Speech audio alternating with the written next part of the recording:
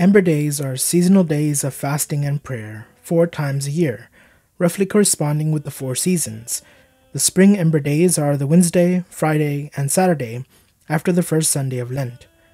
Join me this year in fasting and praying for our many needs, especially for Ukraine, for a fruitful Lent, and for the prayer intentions in the comments below. Let us pray.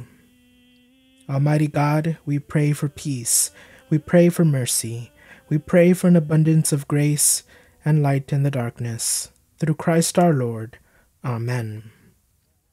As we hear the words of the gospel, let us ponder whether we accept and make good use of the treasures of grace available to us in the church, and thereby bear good fruit. Do we love one another as Christ has loved us?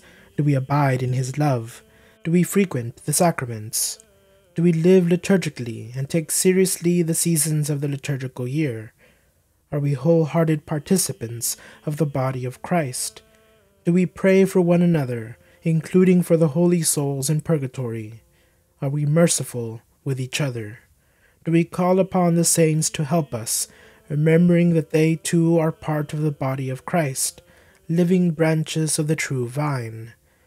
Let us hear the words of chapter 15 of the Gospel according to John. I am the true vine, and my Father is the vine grower. He takes away every branch in me that does not bear fruit, and every one that does he prunes, so that it bears more fruit. You are already pruned because of the word that I spoke to you. Remain in me, as I remain in you. Just as a branch cannot bear fruit on its own unless it remains on the vine, so neither can you unless you remain in me. I am the vine, you are the branches. Whoever remains in me and I in him will bear much fruit, because without me you can do nothing. Anyone who does not remain in me will be thrown out like a branch and wither. People will gather them and throw them into a fire, and they will be burned. If you remain in me and my words remain in you, ask for whatever you want, and it will be done for you. By this is my Father glorified, that you bear much fruit and become my disciples. As the Father loves me, so I also love you. Remain in my love. If you keep my commandments, you will remain in my love, just as I have kept my Father's commandments and remain in his love.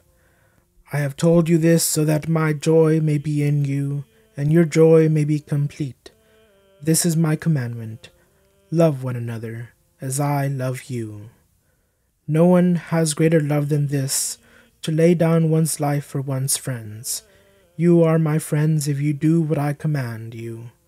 I no longer call you slaves because a slave does not know what his master is doing. I have called you friends because I have told you everything I have heard from my Father. It was not you who chose me, but I who chose you, and appointed you to go and bear fruit that will remain, so that whatever you ask the Father in my name, he may give you. This I command you love one another. If the world hates you, realize that it hated me first. If you belong to the world, the world would love its own. But because you do not belong to the world, and I have chosen you out of the world, the world hates you. Remember the word I spoke to you No slave is greater than his master. If they persecuted me, they will also persecute you. If they kept my word, they will also keep yours. And they will do all these things to you on account of my name, because they do not know the one who sent me. If I had not come and spoken to them, they would have no sin. But as it is, they have no excuse for their sin. Whoever hates me also hates my Father. If I had not done works among them that no one else ever did, they would not have sin. But as it is, they have seen and hated both me and my Father.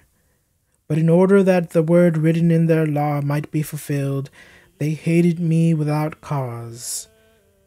When the Advocate comes, whom I will send you from the Father, the Spirit of truth that proceeds from the Father, he will testify to me. And you also testify, because you have been with me from the beginning.